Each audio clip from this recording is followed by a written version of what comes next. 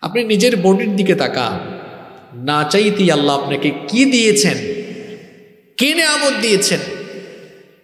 এই যে চক্ষু খুললেই আপনি দুনিয়া দেখতে পারেন।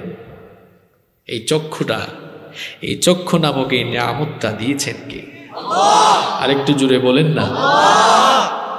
যার চক্ষু নেই, সে বুঝে চক্ষু না থাকার বেদনা ব্যথা। আপনার চক্ষু আছে, আপনি দেখতে পাচ্ছেন। এটা যে আল্লাহর কত বড় নিয়ামত। এই চক্ষু নিয়ে রিসার্চ করে ক্যামেরা আবিষ্কার করা হয়েছে। আপনাদের প্রত্যেকের হাতে হয়তো স্মার্টফোন আছে আছে না? বিশেষ করে ইয়াং জেনারেশন যুবক এবং তরুণ ভাইয়েরা, কিছুদিন পর পর মার্কেটে সার্চ করে নতুন কোনো মডেলের ফোন বাজারে আসলো কিনা। এবং সেটা, সেই ফোনের ক্যামেরা কত মেগাপিক্সেল ক্যামেরাটা কেমন? তার প্রাইমারি ক্যামেরা সেকেন্ডারি ক্যামেরা কেমন? মেগাপিক্সেল কত? এটা তারা সার্চ করে। এই যে ক্যামেরাগুলোর মেগাপিক্সেল আছে, আমরা অনেকে মনে করি যেই ফোনের ক্যামেরায় মেগাপিক্সেল যত বেশি, সেই ক্যামেরার ফটো সুন্দর তত বেশি। তাই না? এটা আমাদের ধারণা। আমি যতটুকু জানি, এই যে শুটিং হয় বিভিন্ন ক্যামেরা দিয়ে, এখনও পর্যন্ত ম্যাবি দুনিয়াতে একশো বিশ মেগাপিক্সেলের বেশি ক্যামেরা আসেনি, থাকলেও থাকতে পারে আমার জানা নেই। তবে আমি যতটুকু জানি, একশো বিশ পর্যন্ত আছে। আপনি কি জানেন, এই পৃথিবী দেখার জন্য আল্লাহ তালা আপনাকে দুটি চর্মচক্ষু দিয়েছেন।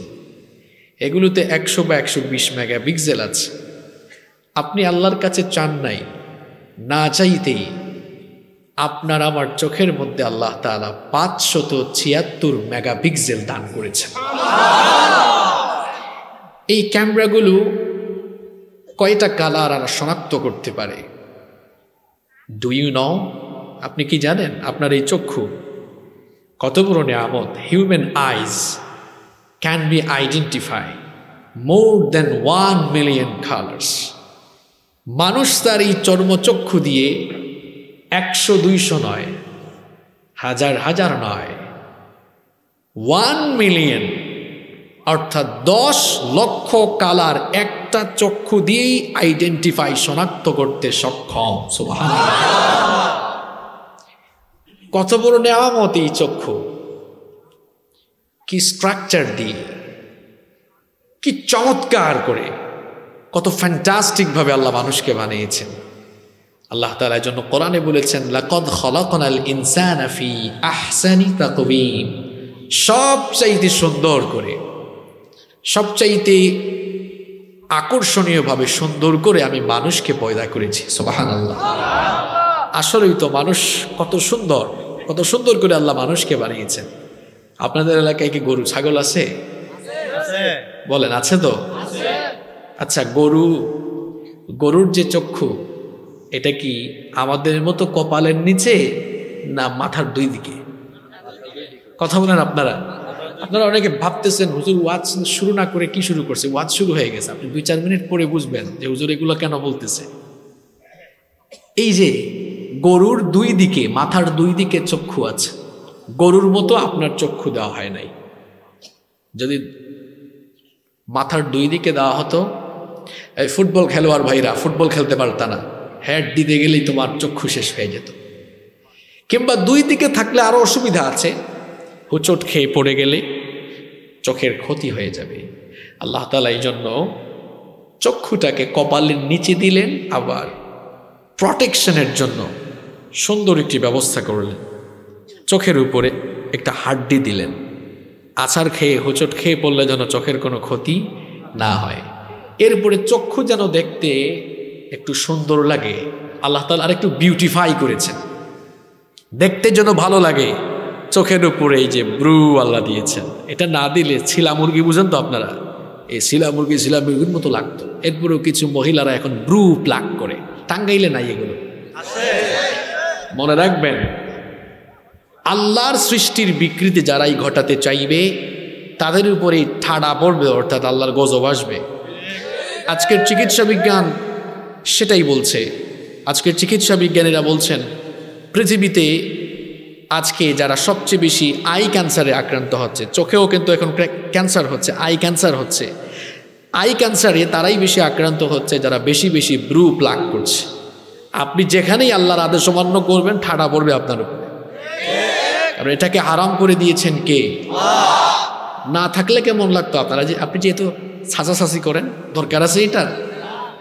চোখের সৌন্দর্য বর্ধনের জন্য আল্লাহ ব্রু দিলেন। কারও কারও ব্রু এত সুন্দর পাকা তরবারির মতো। এরপরে চোখের মধ্যে আল্লাহ পাপড়ি দিলেন। সুহান আল্লাহ প্রোটেকশনের জন্য আল্লাহ কি ব্যবস্থা করেছেন?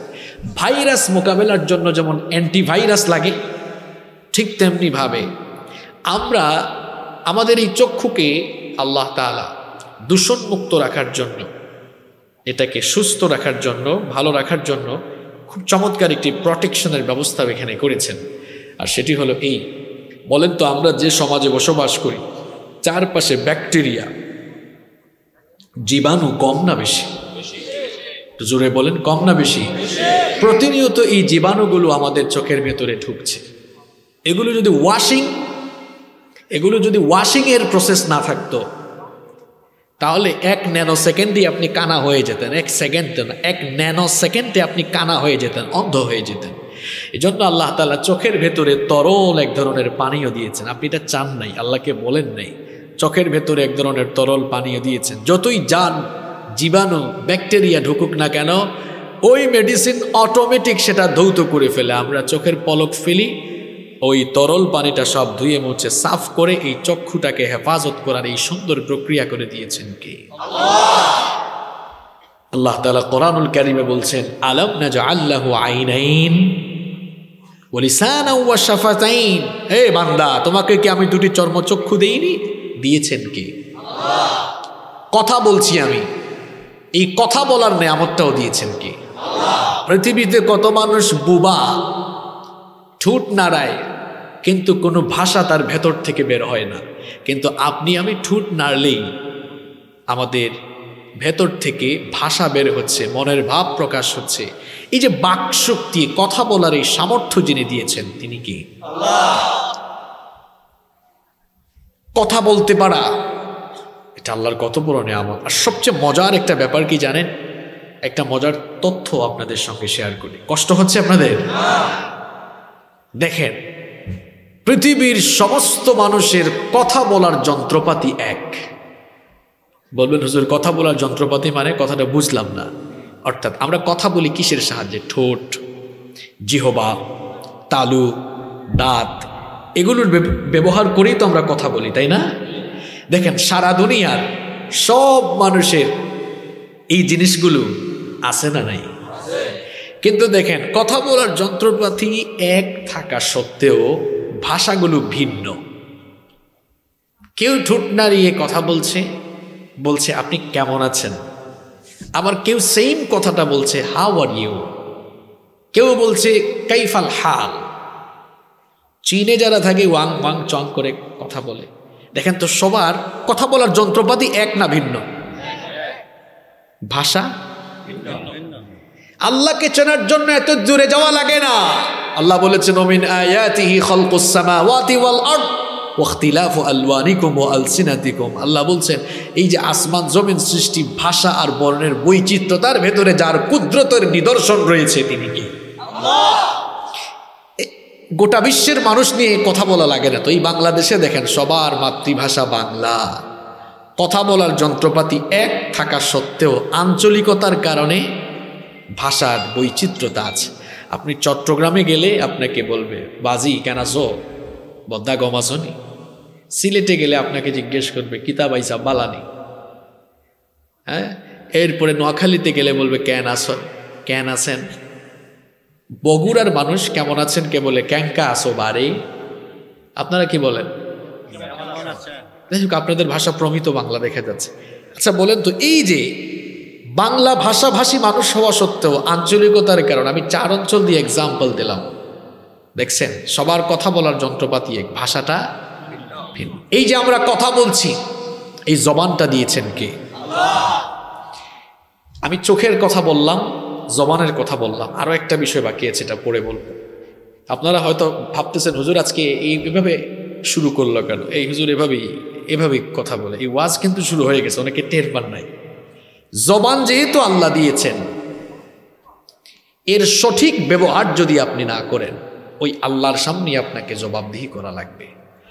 মুখ একটা পাইছেন বলে যা মন চায় তাই বলেন, যা ইচ্ছে তাই বলেন। ওয়াই হোয়াটস দ্য রিজন কি হয়েছে আপনার? এই জবান দিয়ে তো ফডর ফডর করেন কেন? যা মন চাই তাই বলেন কেন? আপনি জানেন না, পৃথিবীতে গুনাহের সবচেয়ে বড় ফ্যাক্টরি হলো এই মুখ। বলেন, উচ্চকণ্ঠে পুরুষ মানুষের মতো জবাব দেন। পৃথিবীতে গুনাহের সবচেয়ে বড় ফ্যাক্টরির নাম বলবেন, হুজুর, এটা কেমনে? মিথ্যা ঠ্যাং দিয়ে কয় না জবান দিয়ে কয়? গিবত করে হাত দিয়ে না জবান দিয়ে? মানুষকে গালিগালাজ করে হাত পা দিয়ে না মুখ দিয়ে? কোরআনের বিরুদ্ধে, ইসলামের বিরুদ্ধে কথা বলে ঠ্যাং দিয়ে না মুখ দিয়ে। চুগল ঘুরি করে ঠ্যাং দিয়ে না মুখ দিয়ে। মানুষকে কটু কথা বলে কষ্ট দেয়, জবান দিয়ে না ঠ্যাং দিয়ে। তুচ্ছ তাচ্ছিল্য করে কথা বলে, জবান দিয়ে না ঠ্যাং দিয়ে। পৃথিবীতে মানুষ সবচেয়ে বেশি গুণা করে এই জবান দিয়ে। এই জবান আল্লাহ প্রদত্ত আল্লাহ এই জবান দিয়েছেন এই জবান দিয়ে দুনিয়াতে মানুষেরা সবচেয়ে বেশি গুণা কামায় এই জন্য নবীজি মানুষদেরকে সাবধান করেছেন খবরদার এই জবানের হেফাজত করো নবীজিকে একবার জিজ্ঞেস করা হয়েছিল তিরমিদি ইবনে মাজা এবং মুসনাদে আহমদের ভেতরে এই হাদিস বর্ণিত হয়েছে عن أبي هريرة رضي الله عنه قال سئل رسول الله صلى الله عليه وسلم عن أكثر ما يدخل الناس النار আবু হুরায়রা রাদিয়াল্লাহু আনহু থেকে এই হাদিস বর্ণিত হয়েছে রসুল করিম সাল্লাল্লাহু আলাইহি ওয়াসাল্লামকে একবার জিজ্ঞেস করা হলো ইয়া রসুল আল্লাহ বলেন সাল্লাল্লাহু আলাইহি ওয়াসাল্লাম কোন জিনিসের কারণে মানুষ সব চাইতে বেশি জাহান নামে যাবে নবীজি জবাবে বললেন দুটো জিনিসের অপব্যবহারের কারণে মানুষ সব চাইতে বেশি জাহান নামে যাবে। জোরে বলেন তো, কয়টি জিনিসের অপব্যবহারের কারণে মানুষ জাহান নামে যাবে? আর একটু জোরে। এক নম্বর নবীজি বললেন, আলফাম, এই মুখ। মুখের অপব্যবহারকারীরা জাহান নামে যাবে। দুই নম্বর হচ্ছে, ওয়াল ফরাজ, লজ্জাস্থান। আর দুনিয়াতে সবচেয়ে বেশি গুণা হয় এই দুইটা জিনিস দিয়ে। মুখ আর এই জন্য নবীজি সাবধান করলেন, খবরদার আমার উম্মত, এই দুটো জিনিসের অপব্যবহার করো না, এই দুটো জিনিসের হেফাজত করো, কারণ এই জবানের হেফাজ, এই জবানের অপব্যবহার আপনাকে জাহান্নামি বানিয়ে ফেলতে পারে। আবার এই জবানটাকে যদি আপনি কন্ট্রোল করেন, জবানটার যদি হেফাজত করেন, তাহলে আপনার ব্যাপারে নবীজি কি সুসংবাদ দিয়েছেন এবার ভালো করে শোনেন। বোখারির বর্ণনায় হাদিস এসেছে, নবী করিম সাল্লাল্লাহু আলাইহি ওয়াসাল্লাম বলেছেন মা বাইনা লাহইহি ওয়া রিজলাইহি আদমানু লাহুল জান্নাহ। আল্লাহর নবী বলেছেন, যে ব্যক্তি তার মুখ আর লজ্জাস্থান এই দুটো জিনিসের জিম্মাদারি গ্রহণ করবে। কাল কেয়ামতের দিন ওই লোকটার জন্য আমি নবী নিজেই জান্নাতের জিম্মাদার হয়ে যাব। কন্ট্রোল ইট এটা কন্ট্রোল করেন, হেফাজত করেন এটা। সারাদিন তো এই জবান দিয়ে মিথ্যা কথা বলেন, নাপাক কথা বলেন। এই জবান দিয়ে জেনা করছেন, গিবত করছেন, চুগলখুরি করছেন। এই জবান দিয়ে প্রত্যেক দিন গুণা করতে করতে গুনাহের পাহাড় আপনি তৈরি করে ফেলছেন। মুআদ বিন জাবাল রাদিয়াল্লাহু আনহু তিনি একদিন নবী করিম ওয়াসাল্লামকে জিজ্ঞেস করলেন, ওগো আল্লাহর নবী, আমরা এই জবান দিয়ে যে কথা বলি, সেগুলোর ব্যাপারে কি আল্লাহ কেয়ামতের দিন আমাদেরকে জিজ্ঞেস করবেন নাকি? নবীজি তখন বললেন মোয়াজরে শোনো, এই জবান দিয়ে যারা অপব্যবহার করবে জবানটার যারা এই জবানের যারা অপব্যবহার করবে কামতের দিন রব্বুল আলমিন তাদেরকে উপর করে জাহান নামে নিক্ষেপ করবে। কি মনে করেছেন আপনি? এই জবান পাইয়া আপনি যা মন চাই তাই করবেন। খবরদার এই জবান নাপাক করবেন না, এর অপব্যবহার করবেন না। এই জবানের অপব্যবহার করে আজ আমরা সবাই কীভাবে গোনাগের পাহাড় তৈরি করছি দেখেন? এক নাম্বার, এই জবান দিয়ে আমরা মিথ্যা বলছি। আমাদের মধ্যে অবশ্য মিথ্যাবাদী নাই। আর একটু জোরে বলেন। মিথ্যা বলার কুফল হলো দুইটা। বুঝে থাকলে পুরুষ মানুষের মতো আওয়াজ দিয়ে বলেন, মিথ্যা বলার কুফল কয়টা? এক নাম্বার, মিথ্যা বলার কারণে জবানের হক নষ্ট হয়। মিথ্যা বলার কারণে জবানটা নাপাক হয়ে যায়। না থাকে তার সঙ্গে থাকে কে? আর একটু জুড়ে তার মানে মিথ্যা যে বলে সে কার বন্ধু? আর একটু জোরে। আমরা শয়তানের বন্ধু হতে চাই না আল্লাহর বন্ধু হতে চাই। তাহলে মিথ্যা ছেড়ে দিতে হবে, এই জবান দিয়ে মিথ্যা বলতে পারবেন না। মিথ্যা বলার কুফল বলেছিলাম, দুইটা, এক নাম্বার হলো মানুষ যখন মিথ্যা বলে, জবানের হক নষ্ট হয়ে যায় আর এর মাধ্যমে সে শয়তানের বন্ধু হয়ে যায়। আর মিথ্যা বলার দুই নাম্বার কুফলটা বড় মারাত্মক, মিথ্যা বললে মানুষ সঙ্গে সঙ্গে মুনাফিক হয়ে যায়। মুনাফিককে আপনাকে বুঝতে হবে?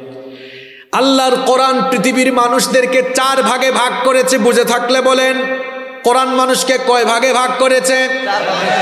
এই পৃথিবীতে আটশো কোটি মানুষ বাস করছে পৃথিবীর সব মানুষকে কোরআন চারটি ভাগে ভাগ করেছে।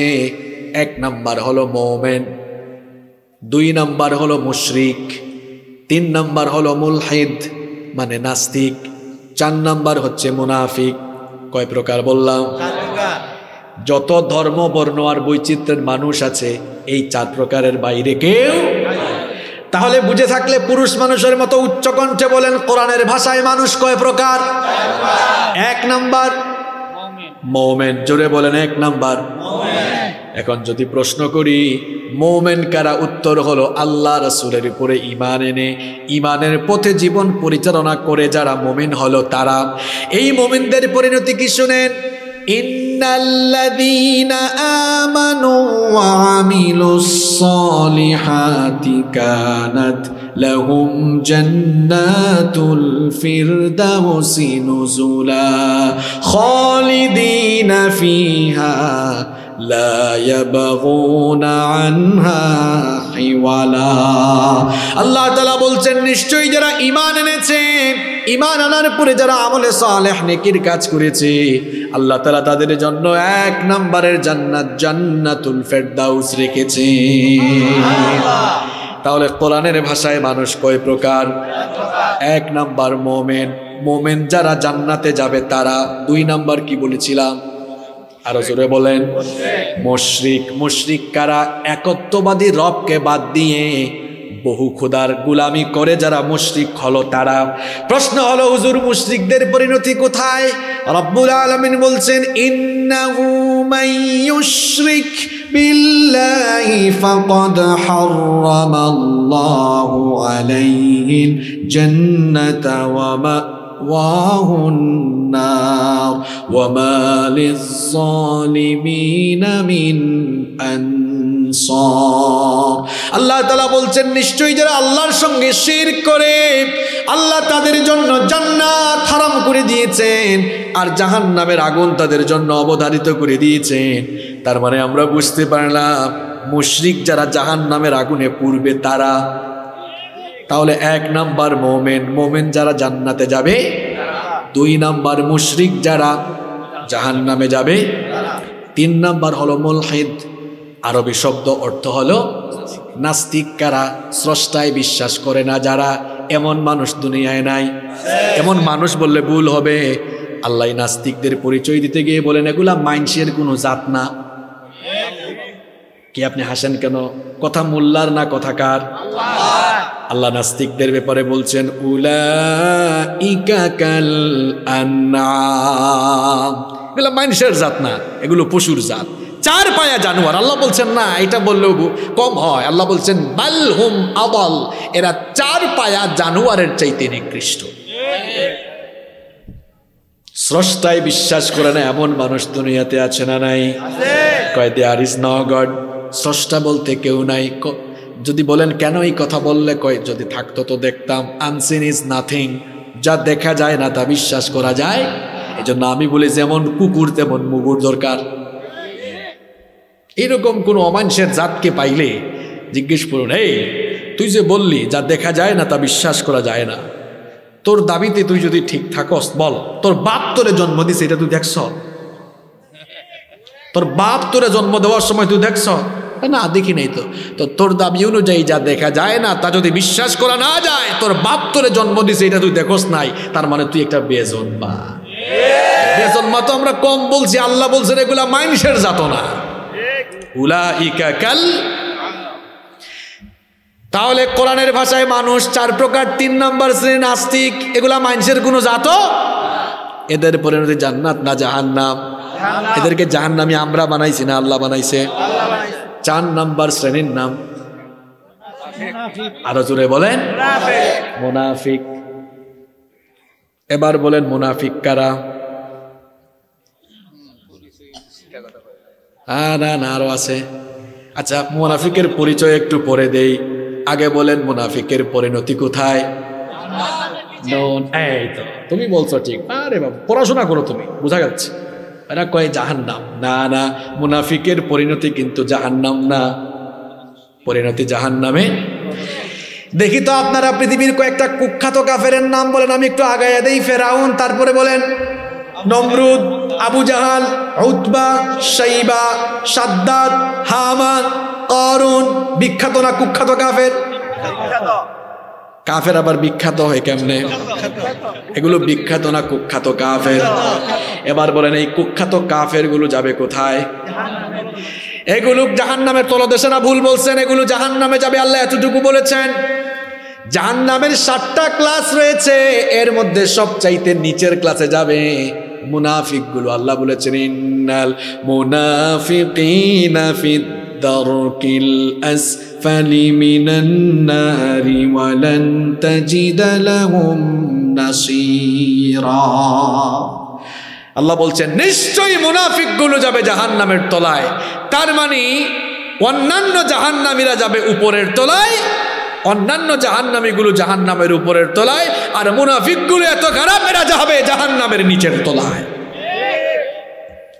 এই জন্য শয়তান আমাদের বন্ধু না দুশ্মন?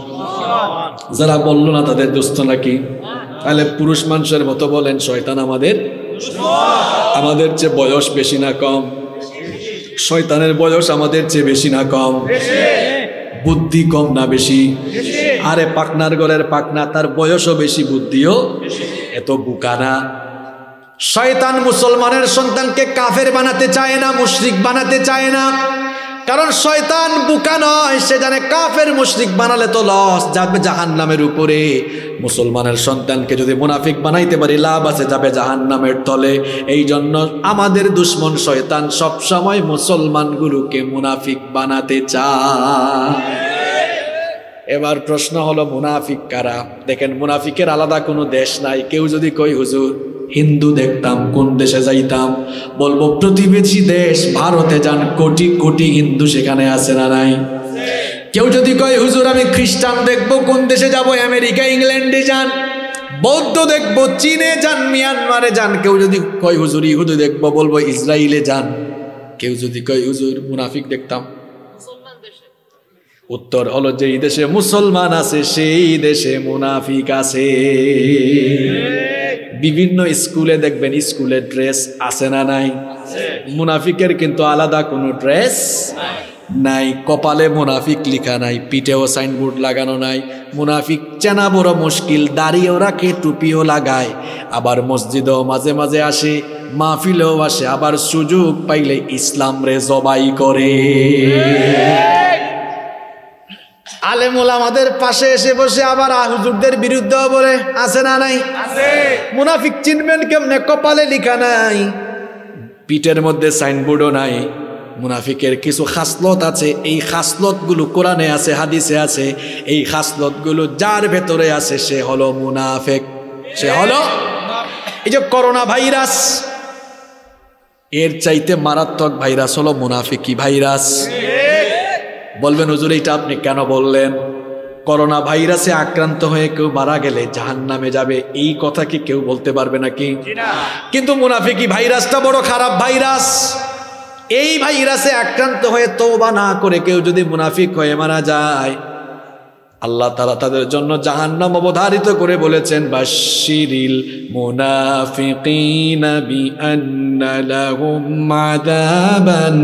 আলিমা। আল্লাহ তালা কোরআনে বলেছেন, নবী গো, মুনাফিকগুলোকে জাহান্নামের সুসংবাদ দেন। মুনাফিকদের জন্য জাহান্নাম ছাড়া উপায় নাই। এক মুনাফিকের জন্য নবী নিজে দোয়া করেছেন, আল্লাহ দোয়া কবুল করেন না এই ঘটনাটা কি আপনি, আমি আপনাদেরকে বলব নাকি? তাবুকের অভিযান থেকে ফেরার কিছুদিন পর মক্কার তাবুকের অভিযান থেকে ফেরার পর মদিনার সবচেয়ে বড় মুনাফিক, মুনাফিকদের সর্দার আবদুল্লাহ বিন উবাই বিল সুলুল মারা গেল।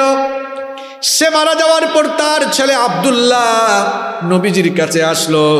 নবীজি তখন সাহাবিদেরকে নিয়ে মসজিদে বসা ছিলেন সে এসে বলল, ইয়া রসুল আল্লাহ পরেন সাল্লাল্লাহু আলাইসাল্লাম আমার বাবা ইন্তেকাল করেছেন। আমার বাবার ওসিয়ত ছিল, আপনি যেন তার জানাজা ইমামতি করেন। আর আপনার গায়ের জুব্বা দিয়ে যেন আমার বাবার জানাজার কাফনটা পরিধান করানো হয়।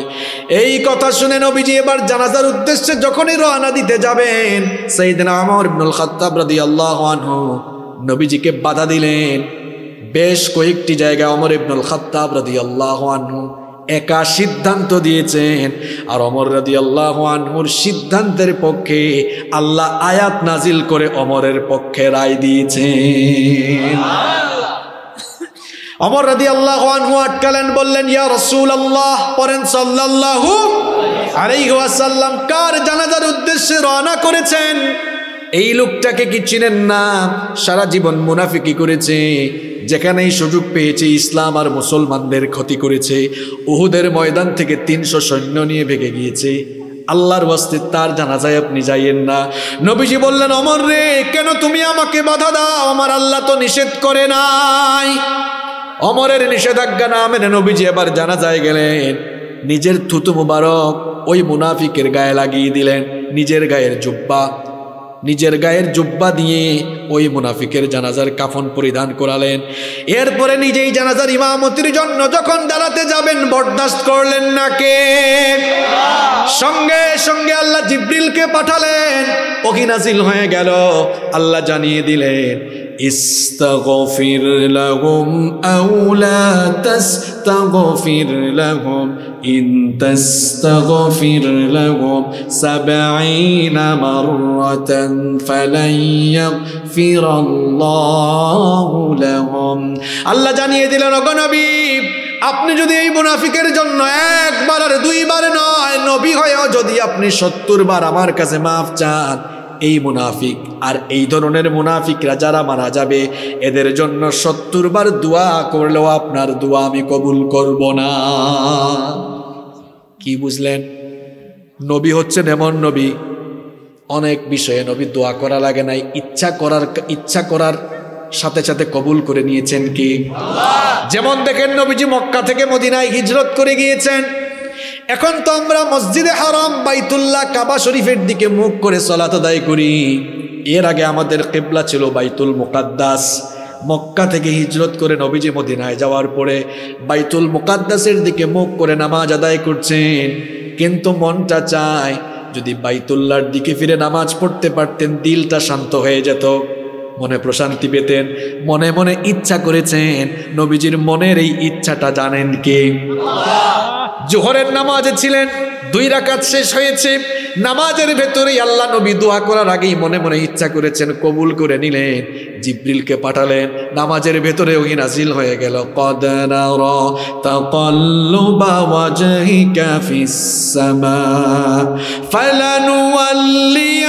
তাকাল্লুবা ওয়াজহিকা ফিস সামা ফালানুওয়াল্লিয়ান্নাকা কিবলাতান তারদাহা فول وجهك شطر المسجد الحرام الله أكبر নবী গো আপনি যে আকাশের পানে তাকিয়ে বারবার মনে মনে কি ইরাদা করছেন জানেন কি আর দেরি নাই মনের ইচ্ছা পূরণ করলাম। নামাজের ভেতরেই আপনি কিবলাটা ঘুরায়া এখন বাইতুল্লাহর দিকে করে নেন। সুবহান আল্লাহ। হজ আর ওমরা করতে গিয়ে যায় যারা এই মসজিদ দেখেছেন মসজিদে কিবলা তাই না? আমিও একাধিকবার গিয়েছি আলহামদুলিল্লাহ। সেই মসজিদ আমি সফর করেছি আজও সেটা আছে না নাই? এই কথাটা কেন বললাম? দেখেন নবীজি দোয়া করার আগেই মনে মনে ইচ্ছা করলেই কবুল করে নেন কে? ওই নবী আবার মুনাফিকের বেলায় দোয়া করেছেন কবুল করেন নাই কি? তার মানে হলো মুনাফিক হয়ে মারা গেলে নবীও না শুধু নবী নয়, যত বড় আলেমই হন না কেন, দুয়া পরে কিন্তু লাভ হবে না। কারণ মুনাফিকের জন্য জাহান নাম ওয়াজিব করে রেখেছেন কি? এই জন্য খবরদার এই ভাইরাস থেকে বাঁচেন। এই ভাইরাস থেকে বাঁচেন। আরে ভাই, করোনা ভাইরাস থেকে বাঁচার জন্য তো আপনার কত সচেতনতা। মুখ থেকে মাস্ক খুলেন না। স্যানিটাইজার পকেটে রাখেন, কিছুক্ষণ পর পর হ্যান্ড স্যানিটাইজার লাগান। অসুবিধা নাই, সাবধানতা, সচেতনতা অবলম্বন করা, এটা ইসলামেরই নির্দেশ। আল্লাহ কোরআনে বলেছেন, ওয়ালা তুলকু বি আইদিকুম ইলা তাহলুকা নিজেই নিজেকে ধ্বংসের দিকে ঠেলে দিও না। আপনি স্বাস্থ্য সচেতন থাকবেন, এটা ভালো কাজ, এটা ইসলামের নির্দেশ। কিন্তু প্রশ্ন হলো, করোনা ভাইরাস থেকে বাঁচার জন্য আমি তো দেখি আপনি মাস্ক লাগান। স্যানিটাইজার ব্যবহার করেন, কিছু মানুষ আবার বেশি সচেতন পিপি লাগায়। এরপরে দেখা যায় মাথার মধ্যে নেটের মতো কি জানি লাগায়। আবার কয়েকজন তো আরও মারাত্মক সচেতন, হেলমেটের মতো কি জানি লাগায়। দেখলে মনে হয় যেন মহাকাশ থেকে নাসার বিজ্ঞানী নেমে আসছে। আপনি সচেতন থাকেন, আমার কোনো আপত্তি নাই, কিন্তু প্রশ্ন হলো রে ভাই এই ভাইরাসে মরলে জাহান নামেও যাবেন এমন কথা কোরআন হাদিসের কোথাও নাই। তবে এই ভাইরাস থেকে বাঁচার জন্য আপনি সচেতন থাকবেন, অবশ্যই ভালো কথা। কিন্তু প্রশ্ন হলো, এই ভাইরাসের চেয়ে অমিক্রণ আসছে, এইটার চেয়ে আরও মারাত্মক ভাইরাসের নাম মুনাফিকি ভাইরাস। এই ভাইরাসে মরলে বিনা হিসাবে জাহান নাম এখন করোনা থেকে অমিক্রণ থেকে বাঁচার জন্য যদি এত সাবধান থাকেন, সচেতন থাকেন, যেই ভাইরাসে আক্রান্ত হয়ে মরলে জাহান নামে যাওয়া লাগবে, এই ভাইরাস থেকে বাঁচার জন্য সচেতন হওয়ার দরকার আছে না না এই ভাইরাসের নাম মুনাফিকি ভাইরাস? এই ভাইরাসের কিছু স্বভাব আছে, এই ভাইরাসের কিছু খাসলত আছে। এর মধ্যে একটা খাসলত হলো মিথ্যা বলা। কোন জায়গায় ছিলাম, মনে আছে নাকি? জবান দিয়ে মানুষ মিথ্যা বলে বলছিলাম, মিথ্যা বলার কুফল কয়টা? আরেকটু জুড়ে বলেন কয়টা? এক নাম্বার, মিথ্যা বললে জবানের হক হয়, শয়তানের বন্ধু হয়। আর দুই নাম্বার বলেছিলাম, মিথ্যা বললে মানুষ কি হয়? আর একটু জোরে। মুনাফিক হলে জান্নাতে। আরও জোরে। দেখছেন, আলোচনা কোথার থেকে ঘুরে কোন জায়গায় দিয়ে আবার নিয়ে আসছি। বুঝছেন কথা আমার? মুনাফিক কিন্তু খুব সহজে চেনা যায় না, মুনাফিকের খাসলত আছে। মুনাফিকের নামে কোরআনে একটা সুরাই আল্লাহ দিয়েছেন, সুরার নাম সুরাতুল সুরাতুল মুনাফিকুনের প্রথম আয়াত খুলে দেখবেন, প্রথম আয়াতের শেষাংশে আল্লাহ বলেছেন, ইন্নাল মুনাফিকিনা লাকাদিবুন। আল্লাহ বলছেন, মুনাফিক হলো তারা কথায় কথায় মিথ্যা বলে যারা আবার হাদিসে নবীজিও বলেছেন, মুনাফিকের যে খাসলত আছে, তার মধ্যে একটা খাসলত হলো, ইদা হাদ্দাসা কাদাবা যখন কথা বলে কথায় কথায় মিথ্যা বলে। হ্যাঁ যুবক, তরুণ ভাইয়েরা, মনে করতে পারে, হুজুর সারাদিনে এক দুইটা মিথ্যা বললে কি হয়? কি করতেছো তুমি? চিন্তা করতেছো? বাবারা, মিথ্যা বললে কি হয়? চিন্তা করেছেন আপনি? দুইটা কুফল বলেছি। এক নাম্বার জবানের হক নষ্ট, শয়তানের বন্ধু হয়ে গেলাম। দুই নাম্বার মুনাফিকি হয়ে গেলাম। জীবনই শেষ, বরবাদ। মিথ্যার চর্চা কেমন ভাবে আমরা জবান দিয়ে করছি দেখেন, দিনে শত শত মিথ্যা বলি। ফোন আসছে, আসে ঘাটাইলে, কয় আমি টাঙ্গাইল সদরে। আরেক পাগলা জীবনে কোনোদিন স্কেনিয়া, ভলভো বিজনেস ক্লাসের বাস বাংলাদেশে আসে না নাই। আপনারা অনেকে উঠছেন, তাই না? জীবনে কোনোদিন এইরকম বাসে উঠে নাই, উঠছে গ্রিন লাইনের স্লিপার কোচে। এখন এই ধরনের বাসে কোনোদিন উঠে নাই একটু পার্ট নিতে গেল। এক দুস্থ কল করছে কিরে দুস্থ কোথায়? কয় আমি বিমানে। কারণ যেই দুস্থ ফোন করছে হ্যাঁ কিন্তু বিমান চড়েছে কয় পাগলা বিমানে উঠলে তো নেট থাকে না নেট পাইলে কই? কারণ মিথ্যা বলে দেখেন বেজ্জত যেমন হয় তেমনি মিথ্যা বলে মুনাফিক হয়ে ধরা হয় খায় ঠিক কি না? মিথ্যা বলি মিথ্যার ছড়াছড়ি মিথ্যার প্র্যাকটিস ফ্যামিলিতেও আছে। ঘটনা তো আরেকটা মনে পড়ছে বলব? এক বাবা ঘরে আসছে, আসার পরে দেখে ছেলে খাতার মধ্যে কি জানি লিখে, কয় কিরে কি লেখস? কয়, আব্বু, লিখতেছি, হাতের লেখা একটু সুন্দর করার চেষ্টা করি। কয়, তাই? দেখি তো বাবা, খাতা হাতেই নিয়ে দেখে, ছেলের হ্যান্ড রাইটিং ভালো না, কয়, তোমার বাপের লেখা এত সুন্দর, তোমার লেখা এমন কেন দাও? আব্বু, খাতায় তোমার লিখে দিই, আমারটা দেখে দেখে একটু প্র্যাকটিস করো।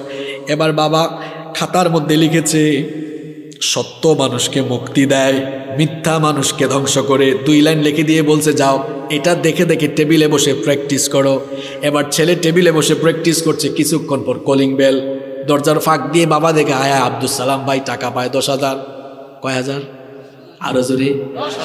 এবার দরজা খুলে নাই। ছেলেকে এসে বলল বাবারে দরজাটা খুলে আস্তে করে বলে দাও। আব্বু বাসায়? এখন ছেলেও ছিল ট্যালেন্ট। কয় আব্বু একটু আগেই না আমারে লেখাইলেন? সত্য মানুষকে মুক্তি দেয়, মিথ্যা মানুষকে ধ্বংস করে। কয়, বাবারে, খাতার লেখা খাতায় থাকুক, তুই এই কথা বলে আগে আমারে নাজাদ দে। আমি তো হাসাবার জন্য বলি নাই এই রকম মিথ্যার প্র্যাকটিস আমাদের পরিবারে নাই। আরও জুড়ে বলেন। মিথ্যা কি বলা যাবে নাকি? মিথ্যা বলে বলে আপনার জবানটাকে আপনি নাপাক বানিয়ে ফেলেছেন। সাবধান হন। সাবধান হন, নিজের জবানটাকে পবিত্র করেন, আর এই জবান দিয়ে মিথ্যা বলিয়েন না। মিথ্যা বলে গুনাহের পাহাড় তৈরি করিয়েন না। মিথ্যা বলা কি আমরা আজ থেকে ছাড়তে পারব নাকি?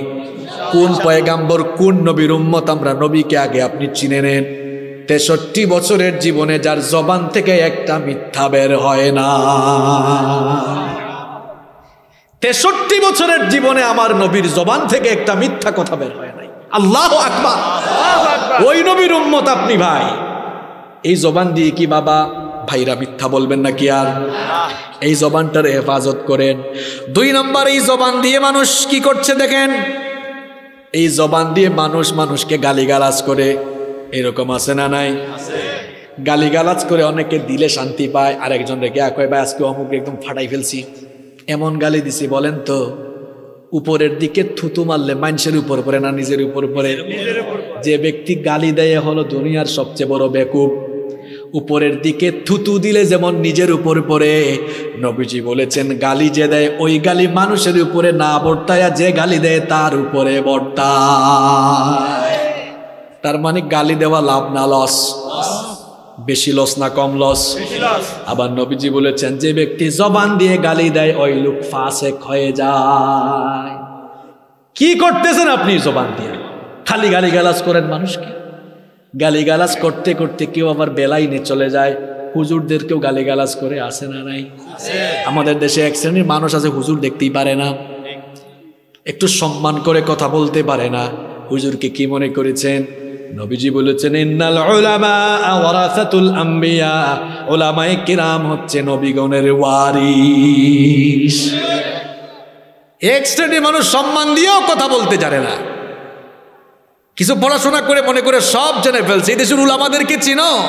আলেমদের কাছেও তো আসো নাই। তুমি কি জানো? ইংরেজি জানো? হুজুররা আরও ভালো ইংরেজি জানে। তুমি সাহিত্য জানো? এদেশের উচ্চ শিক্ষিত আলেমরা ভালো সাহিত্য জানে। তাদের কথার উচ্চতা তুমি দেখবা। তুমি সামান্য বিজ্ঞান জানো? আলেমরা এখন আরও বিজ্ঞান জানে, ভালো বিজ্ঞান জানে। আলেমরা যে পরিমাণ কোরআন হাদিস জানো, ওটা তো তুমি জানো না। সামান্য ইংরেজি পারা, ইংরেজি কথা বলতে পারে, ফুটুল ফুটুল করো। এখনকার আলেমরা এত চমৎকার ইংরেজিতে কথা বলতে পারে, ব্রিটিশদের মতো প্রোনাউন্সিয়েশন আছে না না ঠুনকা দিয়ে তো দেখো না এই জ্ঞানের বারুদ জ্বলে উঠবে। আলেমদেরকে সম্মান করতে শিখুন। এক পাগলা, পাগলামি করে তো শেষ হয়ে গেল। গালিগালাজ করতে করতে হুজুরদেরকে, এই লোকটা মুখ খারাপ করতে করতে গালি দিতে দিতে আলেমদেরকে লুচ্চা পর্যন্ত বলেছে। আল্লাহর মায়ের দেখেন, আল্লাহ আজ তারে লুচ্চা বানাইয়া জাতির সামনে ধরা খাওয়াইয়া দিয়েছে। এই লোকটা গালি দিতে দিতে বলল, হুজুরদের দাড়ি মুসকামাই ফেলব। আমি কই, হায় হায়, নাপিতের কাম হে কেন নেয়? সে যখন এই বক্তব্য দিল, আমি বললাম, তার বংশের মধ্যে কেউ নাপিত ছিল কিনা একটু খুঁজে দেখা দরকার। কারণ এটা কোনো ব্যক্তিত্ববান মানুষের কাজ হতে পারে না। নাপিতের বংশধর হইলে পরে এমন কথাই বলতে পারে। ইসলামের বিরুদ্ধে যাইয়েন না। ইসলাম ছিল, ইসলাম আছে, ইসলাম থাকবে, তোমার মতো পাগল ছাগল থাকবে না। আর না থাকলেই কি না? ইসলামের কিছুই যাই আসে না। বরং আপনি না থাকলে আপনার লস দুনিয়াও যাবে আখেরা তো হ্যাঁ খবরদার, ইসলামের বিরুদ্ধে গেলে কবরের মাটি গ্রহণ করবে না। কবরের মাটি গ্রহণ করে রাখে দেখো, এই পাগলা, এই টাকলাকে এই দুনিয়ার এক ইঞ্চি জমিনও আজ গ্রহণ করতেছে না। কোরআনের পক্ষে থাকেন, ইসলামের পক্ষে থাকেন মর্যাদা বাড়ায় দিবেন কি? লতিফ সিদ্দিকি থেকে নিয়ে মুরাদ পর্যন্ত ইসলামের বিরুদ্ধে যারাই গিয়েছে সবগুলাকে বিজ্জত করে দিয়েছেন কি? এই জমিন আপনাকে চিনতে হবে। এটা অলিয়া উলিয়ার জমিন, এটা ইসলামের দেশ, কোরআনের দেশ। এই দেশে ইসলামের বিরুদ্ধে যাবে যারা, টিকতে পারবে না তারা।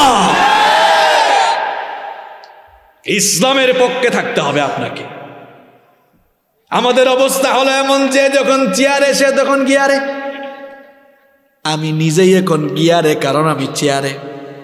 তবে আমার গিয়ারটা কিন্তু ইসলামের বিরুদ্ধে না ইসলামের পক্ষে। আপনার জ্ঞানটাও ইসলামের দিকে রাখেন ইজ্জত সম্মান বাড়াবেন কে? আর যদি বিরুদ্ধে দেন দিতে পারেন। তবে মনে রাখিয়েন এখানে বসাইছেন যিনি বেজ্জত করে নামাইতে পারেন তিনি। বলছিলাম জবান দিয়ে মানুষ দুই নাম্বার গালিগালাজ করে জবানের হক নষ্ট করে। আমরা কি আজ থেকে গালিগালাজ করব নাকি? কারা কারা আরও বেশি গালিগালাজ দিবেন, হাত তুলেন। বলছিলাম না কনসেন্ট্রেট থাকবেন, মনোযোগী থাকবেন। হুজুর কিন্তু বেঠিক কথা বেশি কয়। আপনাদের কি খারাপ লাগে? মোনাজাত কি দিয়ে দিব নাকি? টাঙ্গাইলের মানুষ তো বড় মজার মানুষ। খুব নীরব, মাশাআল্লাহ। কিছুক্ষণ থাকা থাকবে তো? তিন নাম্বার দেখেন জবানের ওয়াজ শোনা কি করতেছেন জবান দিয়ে আপনি? তিন নাম্বার জবান দিয়ে মানুষ গিবত করে আছে না নাই? গিবত করা মানে হলো মরা ভাইয়ের গুস্ত খাওয়া। আল্লাহ কোরআনে বলেছেন ওয়ালা খবরদার গিবত করো না। আইয়ুহিব্বু আহাদুকুম আইয়াকুলা লাহমা আখিহি মাইতান ফাকারিহতুমু। তোমাদের মধ্যে কেউ কি আছে নাকি তার মরা ভাইয়ের গুস্ত খাবে? সবাই তো এটা অপছন্দ করে। সুতরাং গিবত করো না, গিবত করা মানে হলো মরা ভাইয়ের গুস্ত খাওয়া। আজ গিবত করে আমাদের সমাজের রন্ধ্রে রন্ধ্রে কম না বেশি। এ ভাই, গিবত করে তো আপনি নিজের লস করতেছেন, নিজের জবান টেরে নাপাক বানায় ফেলতেছেন। নবীজি বললেন, আল গীবাতু মিনাজ জিনা। জিনার চাইতেও গিবতের পরিণতি আরও মারাত্মক। সাহাবিরা বললেন, ওগো আল্লাহর নবী, এটা কেমনে হয়? নবীজি বললেন, জেনা করার পর বান্দা যখন আল্লাহর কাছে তওবা করে, আল্লাহ মাফ করে দিতে পারেন কিনা? কিন্তু আপনি যখন মানুষের গিবত করেন, এটা আল্লাহর হক না, এটা বান্দার হক। হক হলো দুই প্রকার, হাক্কুল্লাহ, আল্লাহর হক। দুই নাম্বার হলো হাক্কুল ইবাদ, বান্দার হক। আপনি যখন আল্লাহর হক নষ্ট করেন, আল্লাহর হক নষ্ট মানে কি? মনে করেন, নামাজে কিছু ভুল ভ্রান্তি করছেন, হকটা কার সাথে সংশ্লিষ্ট? আল্লাহর ইবাদত করতে গিয়ে ভুল ত্রুটি করেছেন, এগুলো কার সঙ্গে সংশ্লিষ্ট বিষয়? আল্লাহর কাছে মাফ চাইলে মাফ করে দিতে পারেন কি? কিন্তু কিছু বিষয় বান্দার সঙ্গে সংশ্লিষ্ট।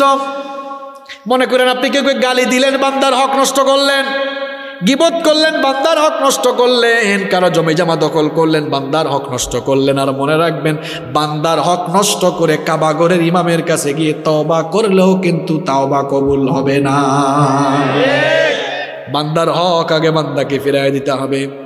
এই জন্য আরেকটা হাদিস, আরেকটা ঘটনা আমার মনে পড়ছে। বলব? নবীজি সাহাবিদেরকে বললেন আতাদ্রুন আমাল মুফলিস? সাহাবিরা বলো তো, আমার উম্মতের মধ্যে সবচেয়ে অসহায় কি? এই সেম কোশ্চেনটা আপনাদেরকে করলে আপনারা বলবেন, হুজুর, যার গাড়ি নাই, বাড়ি নাই, টাকা নাই, পয়সা নাই, সে অসহায়?